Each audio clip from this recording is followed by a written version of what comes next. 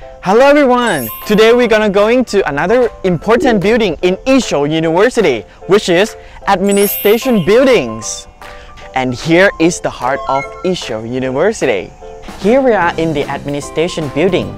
We're on the first floor, and the first floor we serve it about uh, academic affair, student affair, and general affair.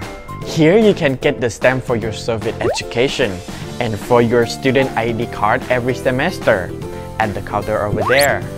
Not only that, if you have health problem, counseling service ready for you.